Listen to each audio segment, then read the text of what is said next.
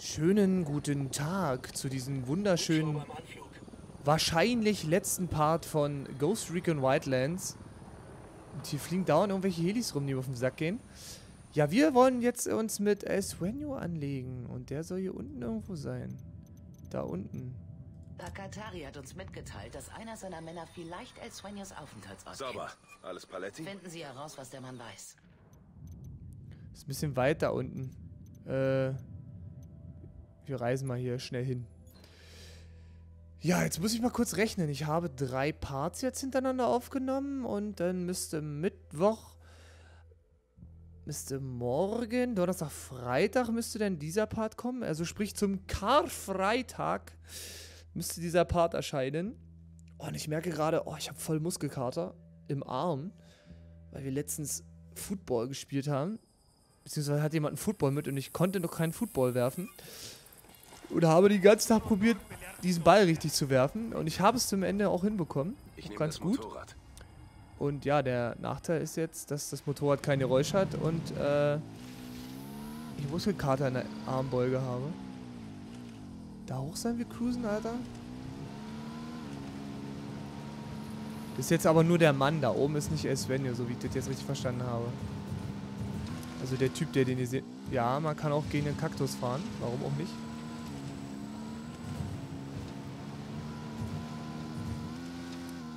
Nee.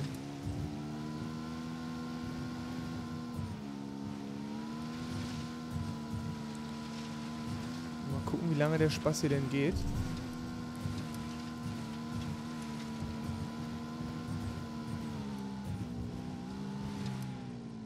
Ui.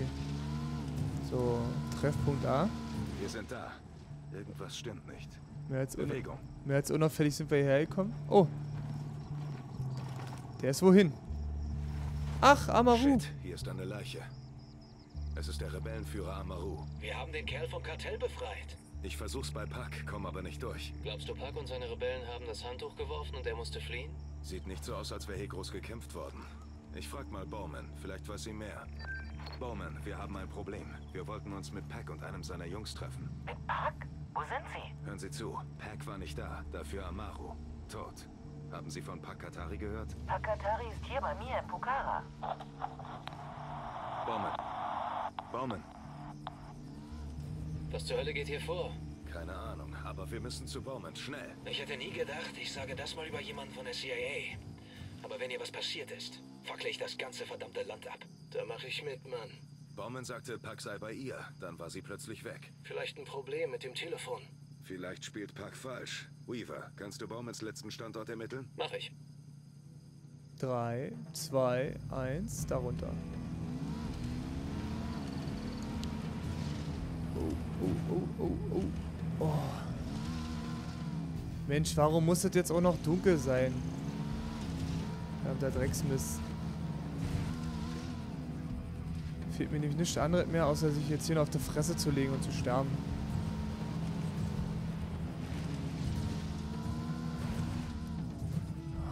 Mann.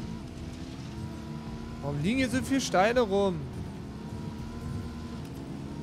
So, sehe ich vielleicht besser. Ich gegen so einen Steincruise oder nicht. Ja, wie ich ja schon mal in den Vorparts gesagt habe, kenne ich das Ende, beziehungsweise die Enden bereits schon, weil ich den ja für meinen Test wissen musste, um jetzt beurteilen zu können, ob das Ende jetzt scheiße ist oder nicht. Und ob die Story jetzt mehr birgt, als ich gedacht habe. Aber ich werde mal noch nicht zu viel verraten. Zu gegebener Zeit werde ich mich zurückmelden. So. Wir sind hier. Was geht ab?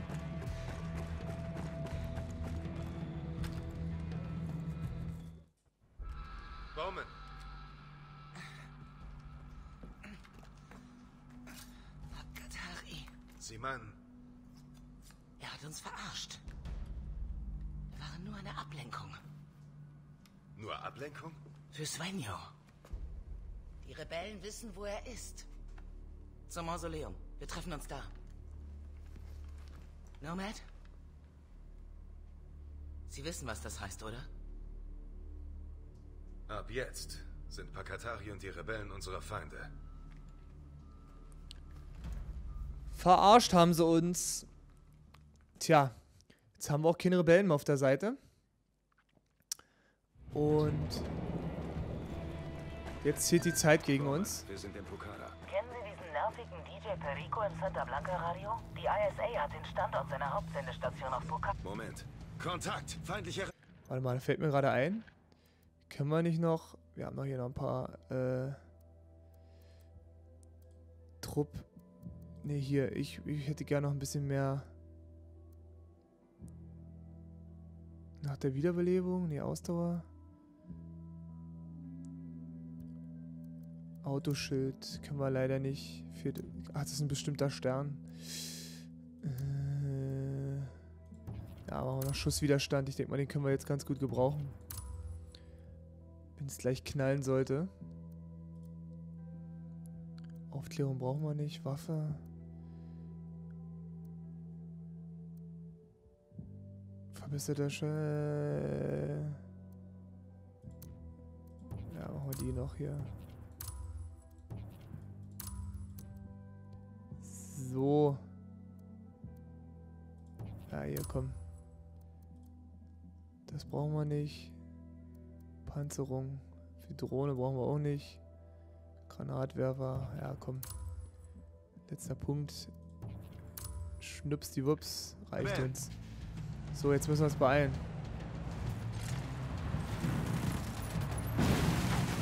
Hm, ja. Genau. Uiuiui. Jetzt fliegen die Fetzen, sag ich euch.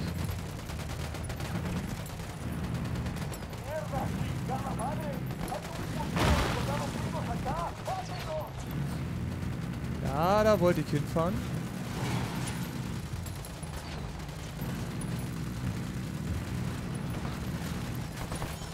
Junge, Junge, Junge, hier scheppert's jetzt aber ordentlich.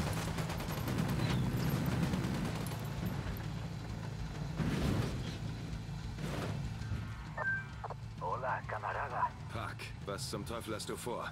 Das gleiche wie du. Das Richtige für mein Land zu tun. El Sueño wird in Bolivien sterben. Mein Volk muss erfahren. Meine Regierung muss erfahren. Und die anderen Kartelle müssen erfahren, dass die Rebellen nicht die Sklaven der Amerikaner sind. Auch allein sind wir stark. Musste Amaru deshalb sterben, weil er nicht stark genug war? Amaru war von Idealen getrieben.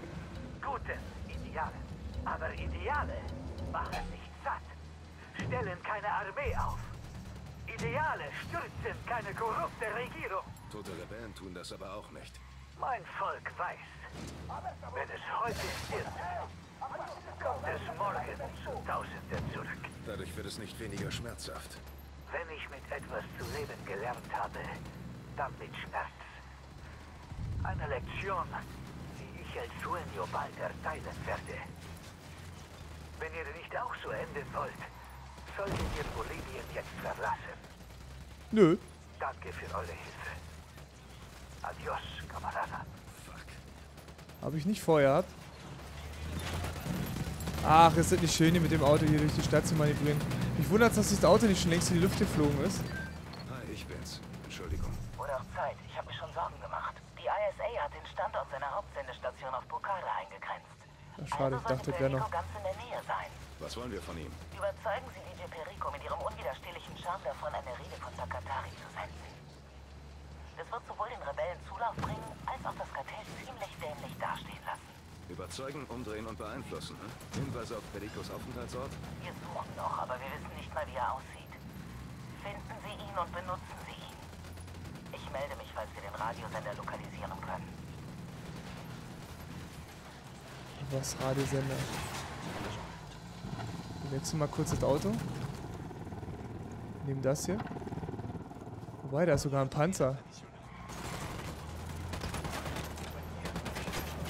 Hm. Ach nö, der ist, der ist mit so unge ungelenkig, der Panzer. Oh. Falsch gefahren. Jetzt habe ich aber nicht ganz verstanden, wie sollen den Radiosender und den umstimmen? Also meines Wissens bra brauchen wir nur zu dem Mausoleum fahren und da äh, Esvenio treffen. Alles okay, alles okay.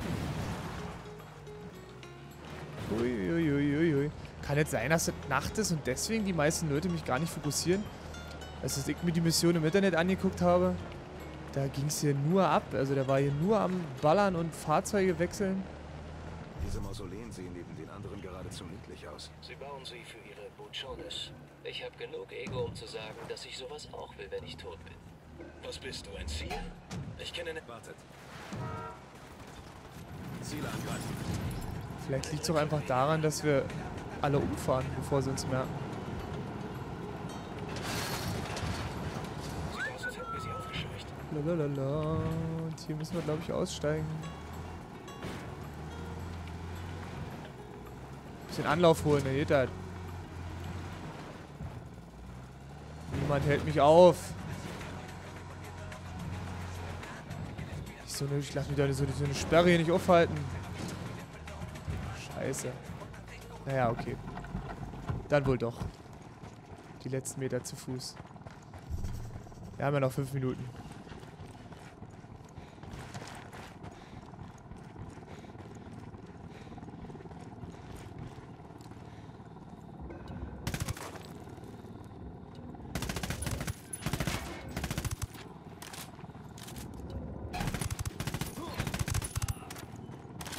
Uns ja schon fast unbemerkt dahin schleichen.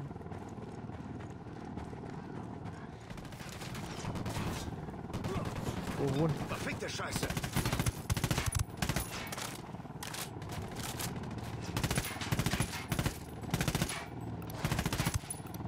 Sind eigentlich die Freunde, wenn man sie mal braucht.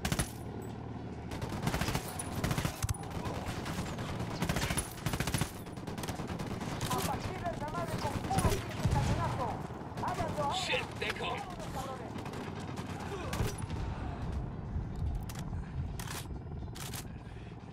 Ich lege an.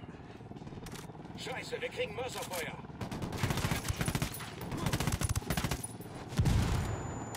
Na dann schnell weiter, würde ich sagen. Den Rest können wir ja laufen. Ich glaube, viel mehr kommt hier auch nicht.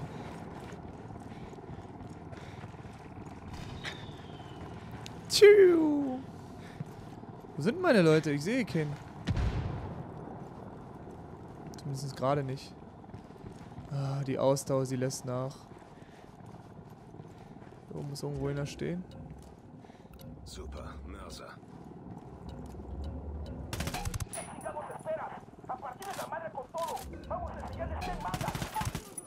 Da oben war er. Wo ist der andere Fatzke? Der muss doch hier gleich stehen.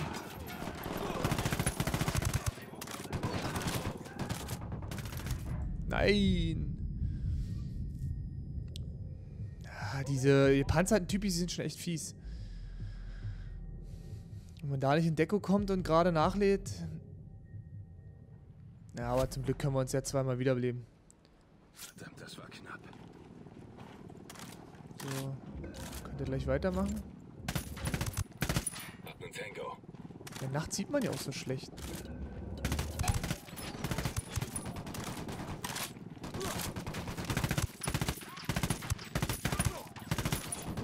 Man schießt ja auch mal mit. Kann doch wohl nicht angehen.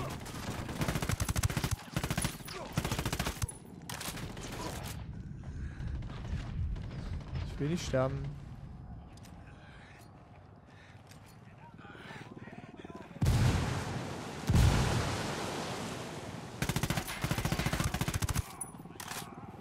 So, war's das jetzt mal langsam? Oben sollen auch noch welche stehen. Seht euch das an. Ich habe schon mal Mausoleen gesehen. Und das hier könnte sie alle zum Frühstück verspeisen und würde nicht mal merken, wenn es sie ausscheißt. Sollen wir So. glauben, dass Sueño ein Gott ist? Er tut Da ist die Figur vom Anfang. Die sieht aber nicht so toll aus wie die. Nimm die Hände hoch, Arschloch! Los! Da ist er. Das würde ich. Nur habe ich zurzeit schon etwas in den Händen. Wo ist der? Ich will den großen bösen Retter. Weg damit! Natürlich. Adios, Señor Katari. Hm, lecker. Sie haben fünf Sekunden auf die Knie zu gehen und die Arme zu verschränken, bevor ich Ihnen den Kopf wegschieße. Sollten Sie nicht an Ihr Telefon gehen, Officer Bowman?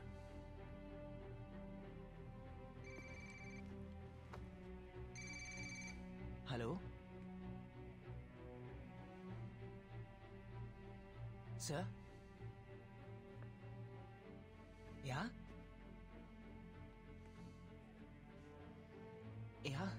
Das, verstehe ich nicht.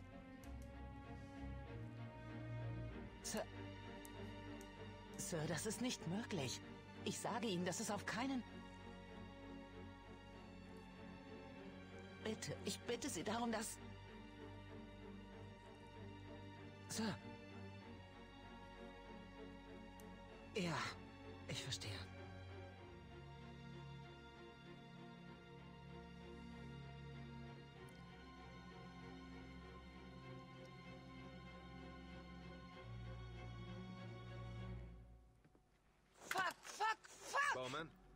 dich! Fuck! Bowman, was ist? Bowman! Er hat Immunität. Er hat... Er hat einen Deal und er... Ein Deal mit Fuck! wem? Mit dem Justizministerium!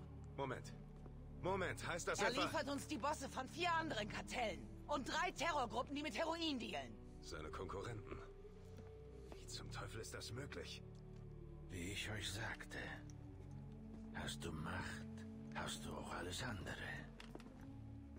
Nun, wenn es recht ist, Senora Bowman, sieht aus, als wären Sie gestern mein Feind gewesen.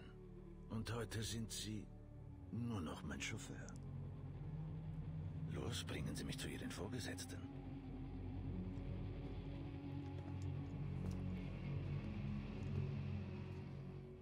Tut mir leid. Bowman, nein!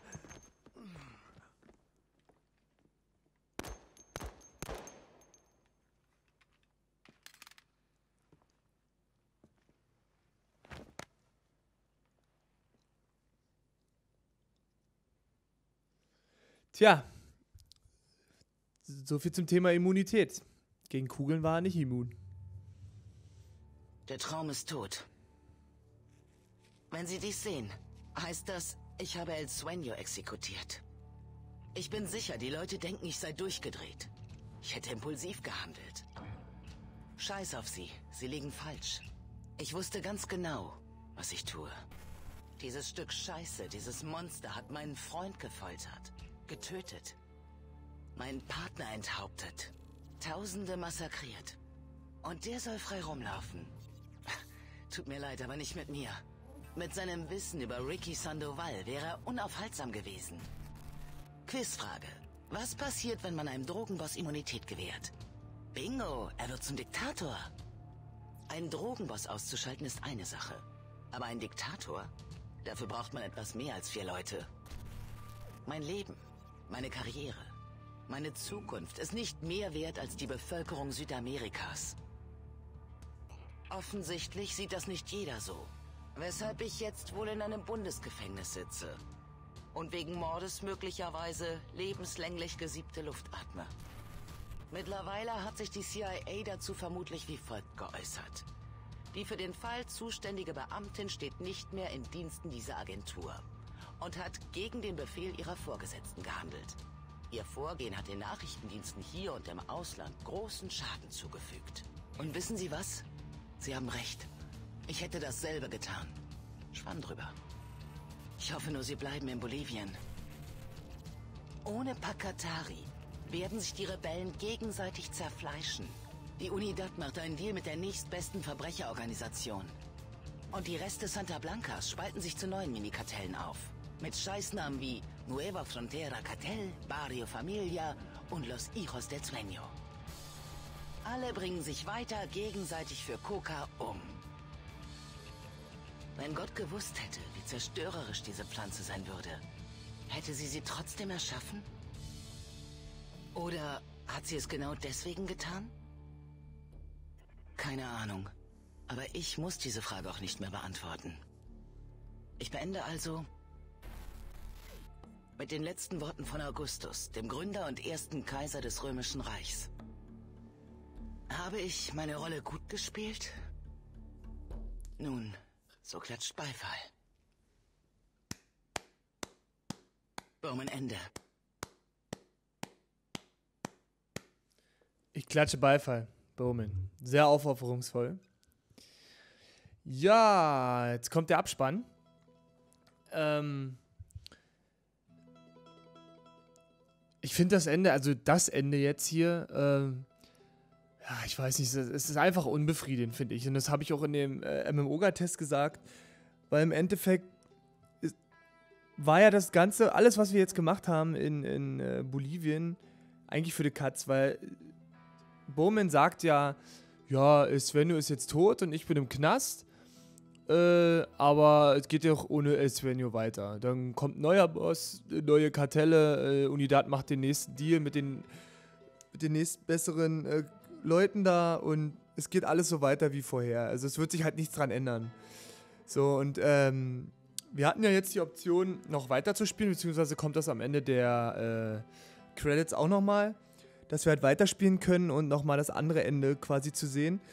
Und bei dem anderen Ende passiert folgendes: Der Anfang ist genau das gleiche. Äh, wir fahren dahin und stellen Svenjo zur Rede. Der hat Pakatari umgebracht, äh, kriegt Immunität.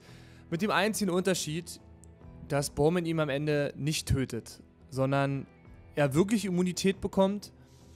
Äh, Bowman dadurch natürlich nicht im Knast landet. Äh, der Nachteil aber, äh, Svenjo kriegt halt Immunität, verrät halt alle möglichen Leute und die werden halt da entweder umgebracht bzw. Äh, inhaftiert und hat dann irgendwie so eine kleine Zelle in Florida oder so und führt da halt ein halbwegs vernünftiges Leben. Und äh, Bowman meint dann so am Ende, ja, was passiert mit Esvenio, wenn der irgendwann keine Informationen liefern kann? Dann wird er halt äh, durch die CIA, weiß ich nicht, erledigt, umgebracht oder keine Ahnung. Er wird halt dann weggemacht, sodass er halt keinen Schaden mehr anrichten kann, weil er hat ja irgendwann keine Immunität mehr und was willst du mit ihm? Denn danach kannst du ihn ja nicht laufen lassen. Und dann haben sie wieder gesagt, ja, wenn Esvenio weg ist, kommt halt der nächste Typ hier an. Im Endeffekt genau das gleiche wie jetzt auch. Es wird halt irgendein anderer machen. Irgendein anderer wird dann halt kommen und dasselbe Ding weitermachen. Also, man stellt uns gar nicht irgendwie in Aussicht, irgendwie was verbessert zu haben, sondern man probiert so diesen Eindruck zu verschaffen, Drogen, Bolivien, alles ist scheiße, irgendjemand muss die Scheiße machen und irgendjemand muss draufgehen dafür. Im Endeffekt kannst du nur bestimmen, wer dafür drauf geht. Aber irgendjemand schadest du damit immer. Ja, das ist so irgendwie die Quintessenz und irgendwie für manche vielleicht eher unbefriedigend das Ende. Auch das andere, wenn Bowman nicht in den Knast kommt. Da finde ich vielleicht sogar schon befriedigender, dass Esvenio tot ist. Auch wenn es für Bowman dann scheiße ist, im Knast zu sein, aber so ein bisschen die Genugtuung für das, was uns persönlich eigentlich widerfahren ist. Die Musik wird auf jeden Fall ziemlich laut gerade. Äh, was uns persönlich halt widerfahren ist. Ja, ansonsten fand ich eigentlich so das Spiel recht unterhaltsam. Äh, klar gibt's storytechnisch bessere Spiele. Also das war jetzt nichts, wo ich mir gesagt habe, oh, ich muss weiterspielen, weil ich muss unbedingt wissen. Im Endeffekt lief es ja eigentlich immer fast aufs Gleiche hinaus. Irgendwo hingehen, irgendjemanden fragen, irgendjemand ausschalten, irgendjemand fragen, irgendwas kaputt machen, irgendjemand fragen, ja, und dann wird das Spiel natürlich damit gestreckt, dass man hier was sammelt, da was sammelt, da nochmal, bevor die Story-Mission kommt, nochmal eine Info sammeln muss und da noch ein paar Gegner sind. Ja, somit ist das Spiel dann halt umfangreicher. Ansonsten würde ich echt mal gespannt sein, was mit den DLCs wird, die dann später rauskommen, wie sich die äh, auswirken und ob es da wirklich noch bis dahin große Spielerschaften gibt von dem Spiel. Ich weiß nicht, ob dann auch vielleicht ein paar Leute sagen, sie kaufen sich das Spiel noch gar nicht und warten, bis eine Version rauskommt, wo alles mit drin ist und spielen erst dann das Spiel. Hm, da bin ich mir noch unschlüssig. Aber wer weiß, also da kommt ja ein PvP. Vielleicht ist ja ja ganz lustig, kann ich nicht einschätzen. Vielleicht entwickelt sich daraus ja auch äh, eine richtige Community, eine krasse und äh, neues PvP und äh, ESL-Liga oder keine Ahnung. Kann man noch nicht beurteilen. Ich glaube es zwar eher nicht, aber man sagt ja niemals nie. Und ansonsten äh, hat es mir viel Spaß gemacht und ja, hat mich gefreut für die Leute, die äh, wacker durchgehalten haben bis zum Ende. Und mal gucken. Ich habe schon eine Idee, was ich jetzt nächstes spiele. Es könnte vielleicht sogar äh, ein Spiel werden, was ich mit Annika spiele. Hm, Überlege ich mir noch, ob ich das alleine spiele oder mit Annika. Äh, aber da wird auf jeden Fall bald wieder was kommen. Nö, also ansonsten, falls ihr Vorschläge habt, was ihr vielleicht mal gerne sehen wollen würdet, was ich mit jemandem zusammenspiele oder alleine oder... Dann lasst mich gerne wissen. Und ja, ich begrüße euch dann zum nächsten Projekt. Bis zum nächsten Mal. Tschüss.